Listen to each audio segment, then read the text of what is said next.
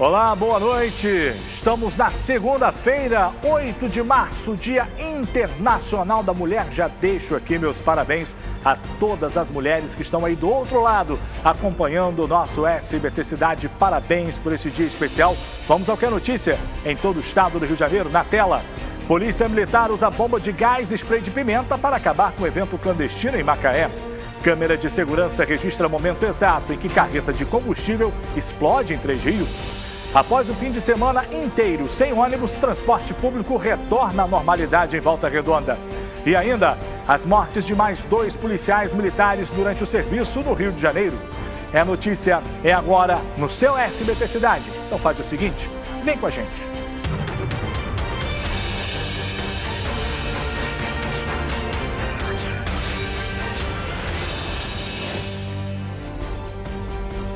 Começamos falando da violência no Rio de Janeiro. Dois policiais militares foram mortos em serviço neste fim de semana.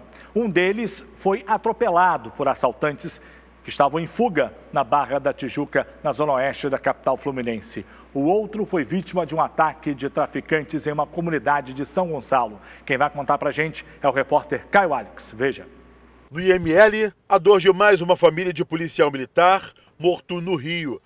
Parentes do soldado Rodrigo Loredo da Silva, de 37 anos, estiveram no local na manhã desta segunda-feira para reconhecer o corpo do agente.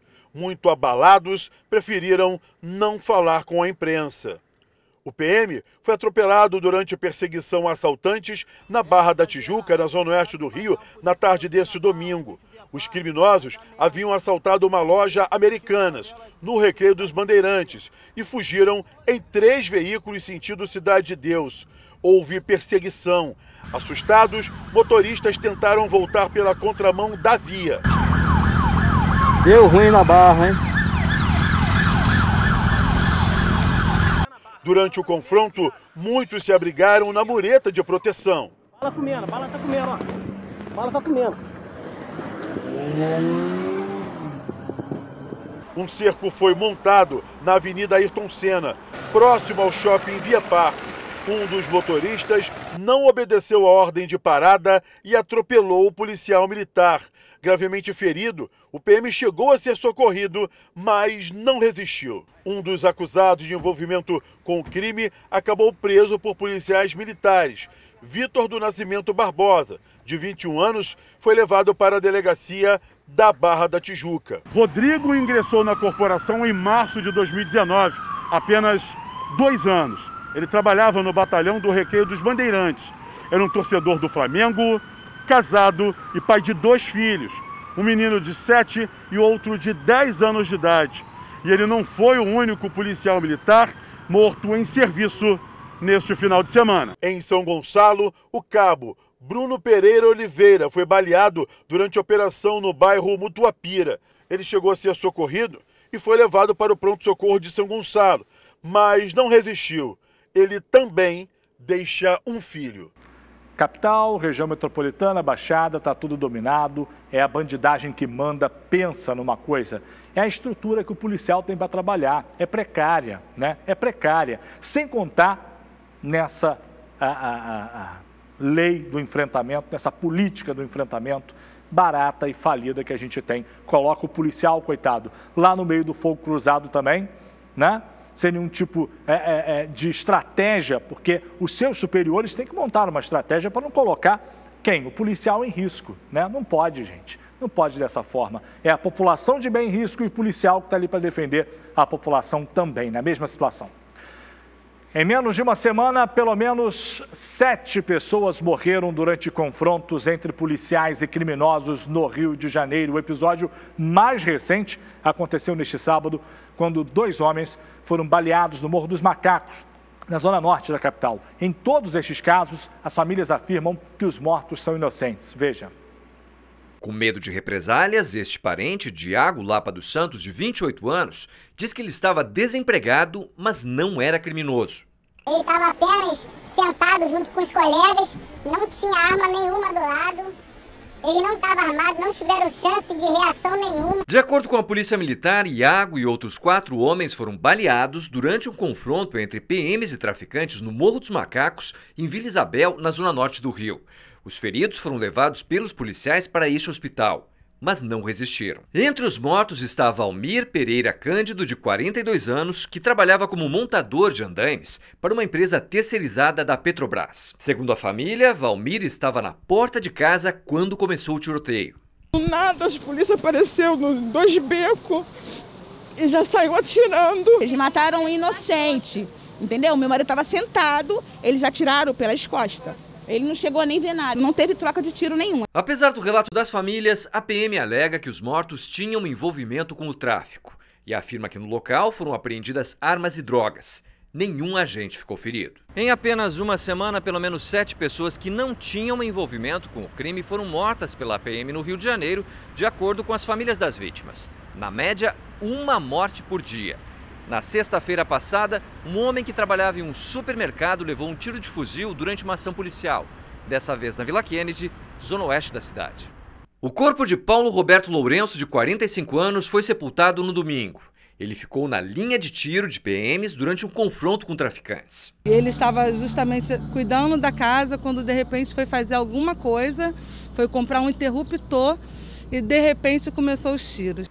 É a política do tiro, da porrada e da bomba. Eu sempre digo aqui, gente, é isso aí. Não vai acabar nunca. Enquanto a gente continuar é, é, apoiando esse tipo de estratégia, né, é, usando esse tipo de estratégia, o que a gente vai ter é gente inocente morta, é policial na mira dos bandidos ali, também alvo dos bandidos, população de bem no meio do fogo cruzado e o crime segue mandando, porque não tem uma estratégia para acabar com a criminalidade, não tem.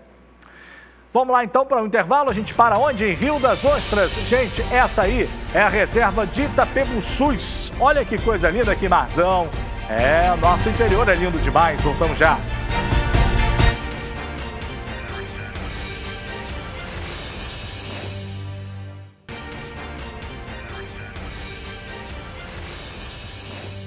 Muito bem, vamos seguindo. Daqui a pouquinho tem sua denúncia, sua participação no nosso Repórter Cidadão. O WhatsApp está aqui embaixo, vai participando com a gente.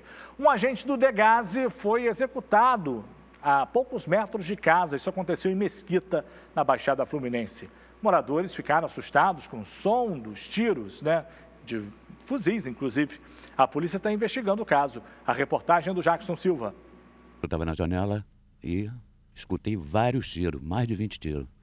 No local, as marcas de tiros de fuzis.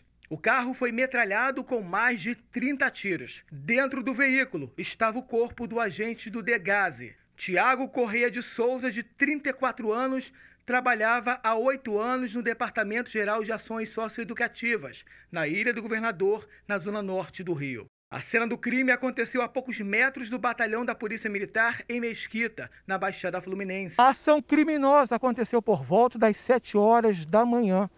O agente seguia para casa de carro, que fica a poucos metros daqui, quando foi surpreendido por criminosos que estavam em outro carro.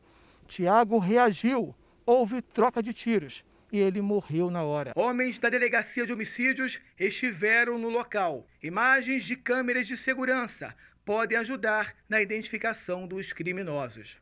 Tiago deixa a esposa e um filho de dois meses. Imagina a raiva né, que os bandidos têm, desenvolvem né, dos agentes penitenciários. Agora, por outro lado, não é este caso, tá, gente? Eu estou só comentando aqui uma situação que é comum, já foi até alvo de reportagem exclusiva do SBT Rio. Por outro lado, temos também agentes penitenciários corruptos, né? que acabam se envolvendo com crime, então a gente tem que ter investigação aí para saber como é que foi essa execução. Por quê? Qual a motivação? O fim de semana foi de terror para os moradores de São Gonçalo. Dez traficantes armados com fuzis fizeram um arrastão em vários pontos da região. Mataram um comerciante e deixaram duas mulheres feridas. A reportagem é do Jackson Silva. Ele viu que ele estava sendo deu acuado, ele começou a gritar e eles começaram a tirar muito tiro, muito tiroteio. Os áudios gravados por moradores dão uma ideia do momento de pânico. Muito tiro aqui na Tati Lanche Assalto, gente. O dono de uma lanchonete foi baleado durante um assalto. Willis Santos Vieira foi atingido por três tiros e não resistiu. A esposa da vítima também foi baleada. E Tatiane Gomes Correia, de 46 anos, foi atingida na mão. Ela foi socorrida no Hospital Alberto Torres, em São Gonçalo, mas já recebeu alta da unidade hospitalar. O crime aconteceu na noite do último sábado, na localidade conhecida como Laranjal, em São Gonçalo. Pelo menos 10 bandidos armados com fuzis começaram a assaltar em outros pontos da região. O primeiro caso aconteceu com uma mulher que foi assaltada e ferida por estilhaços. Momentos depois, os criminosos partiram para a lanchonete. Após atirar contra os proprietários, eles roubaram um celular e fugiram. O povo está largado, São Gonçalo está abandonado. O incrível do Rio de Janeiro é que, assim, bandido aqui, meu amigo, é armado com fuzil, né? A gente vai falar de uma novidade quando a gente pegar um bandido armado com uma faca ou com um revólverzinho qualquer, uma pistola, que aqui é fuzil. O cara puxa um fuzil assim, ó, e assalta, bota o terror. Fuzil no Rio de Janeiro é igual pão em padaria, né? Tem tudo quanto é esquina. 24988550777. Esse é o zap da notícia para você anotar, deixar aí, olha, salvo. Só você salvar lá SBT Cidade, você pode ser o nosso repórter cidadão. E a participação de hoje vem de Três Rios. Novamente, moradores do bairro Pilões estão denunciando a situação de abandono do beco Antônio Elísio de Araújo. Vai vendo só. A passagem ali, gente, não possui pavimentação, como vocês estão vendo, e a água da chuva acaba correndo livremente, provocando esses buracos, essas erosões. E em dias de chuva fica praticamente intransitável esse trecho e o morador fica isolado. E durante a noite, gente, o problema é a falta de iluminação pública. Vamos ver o que diz o morador? É, galera, só para reforçar o, o coisa aí, ó, Beco Antônio ali sem luz ainda. Aqui, bairro Pilões. Fazer um favor, prefeitura, então uma atitude que cobra aqui tem demais também. Olha, não dá, né? Não dá. A, a, a, é tanta escuridão que parece que a sua TV desligou. Mas não é não, meu amigo. É o breu lá dessa servidão, é o Beco Antônio Elísio de Araújo. Não é fácil, né? A Prefeitura de Três Rios mandou uma nota, não é isso? Disse que a Secretaria de Obras e também a Secretaria de Serviços Públicos vão até esse local ainda esta semana para um maior detalhamento sobre os problemas que se encontram por lá e que, após a visita, ações de resolução serão desenvolvidas. A nota foi bastante subjetiva, né? mas não deu prazo para tal feito. Quer dizer, o morador segue lá sem saber quando uma melhoria vai ser feita no local. É bom né, colocar a iluminação pública, porque na conta de luz do morador vem lá a taxa sendo cobrada, não é isso? Paramos aonde agora? Norte Fluminense? Vai vendo só, olha que linda essa imagem, Rio Paraíba do Sul, cortando a cidade de Campos dos Goitacazes. Seguimos já.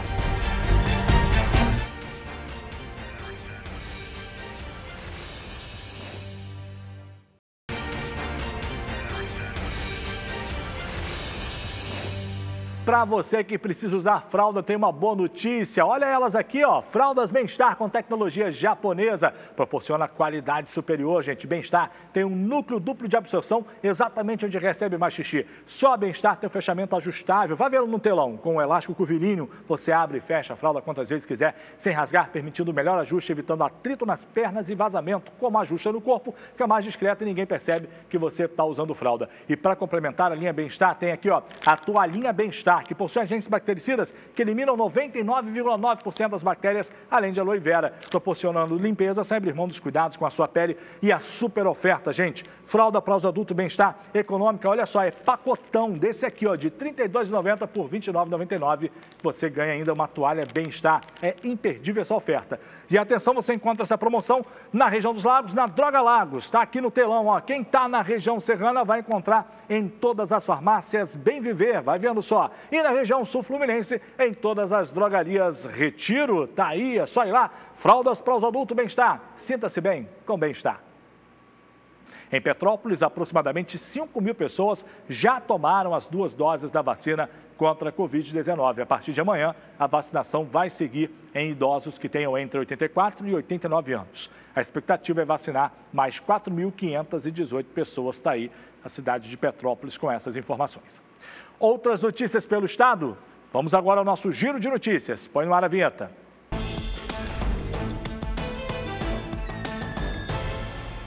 A Polícia Civil de Nova Friburgo realizou uma operação hoje para cumprir três mandados de prisão contra acusados de violência contra a mulher. Um deles está foragido desde outubro do ano passado. Outros três mandados por não pagamento de pensão alimentícia também foram cumpridos. A Operação Resguardo, como foi chamada, aconteceu em diversos estados do país, como um marco pelo Dia Internacional da Mulher. Somente no estado do Rio, 98 pessoas foram alvo da ação. Até o início dessa tarde, 73 pessoas haviam sido detidas. Violência em Volta Redonda. Um jovem de 23 anos foi morto a tiros no bairro Aeroclube. Mateus Andrade Alcântara já foi encontrado sem vida pela polícia na calçada da Avenida Beira Rio. A Polícia Civil investiga o caso. Ninguém foi preso. Em Miracema, a Polícia Militar prendeu um homem de 23 anos que transportava drogas numa charrete. Com o suspeito foram apreendidos 75 pinos de cocaína e 123 reais em espécie. Também no final de semana, a Polícia Militar fez a maior apreensão de drogas do ano em Nova Friburgo. 9 quilos de maconha foram apreendidos no bairro Olaria. O material estava distribuído em 2.532 unidades. Um homem de 33 anos foi detido. Três acusados de assaltar moradores do bairro Itapuaçu, em Maricá, foram presos pela PM. Pertences das vítimas, como celulares, relógios e dinheiro, foram recuperados. Uma carreta que transportava combustível explodiu na BR-040 na altura de Três Rios. Uma câmera de monitoramento registrou o momento do acidente. O motorista José Geraldo Gregório morreu na hora. O INEA avalia os impactos ambientais, já que o tanque de carga do veículo foi parar no rio Piabanha. Profissionais do setor de turismo fizeram um protesto hoje na cidade de Angra dos Reis. Os manifestantes bloquearam o trânsito na principal via de acesso à cidade. Eles são contra o novo decreto municipal que restringe o número de turistas no município por causa do coronavírus. Segundo representantes da categoria, é baixo o número de casos da Covid-19 na cidade, o que não justificaria as restrições. Em Macaé, a Polícia Militar usou bomba de gás e spray de pimenta para acabar com uma festa clandestina que acontecia no bairro Lagomar dezenas de pessoas deixaram o local às pressas. No município de Bom Jardim, um campeonato de som automotivo que acontecia no bairro Águas Claras também foi interditado pela polícia. Por causa da pandemia do coronavírus, eventos que gerem aglomerações estão proibidos. Voltou a funcionar normalmente hoje o transporte coletivo de Volta Redonda. A paralisação dos rodoviários começou na tarde da última sexta-feira e se estendeu pelo fim de semana. A categoria se queixa de cortes nos salários. Uma proposta foi apresentada aos profissionais que decidiram encerrar a greve. As empresas de ônibus alegam que estão passando por dificuldades por causa da queda no número de passageiros provocada pela pandemia.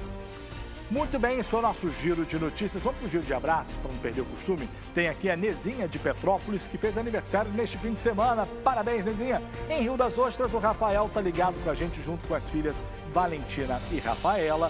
Também em Rio das Ostras tem aí a Tereza e a Camila, que está fazendo aniversário hoje, Dia Internacional da Mulher.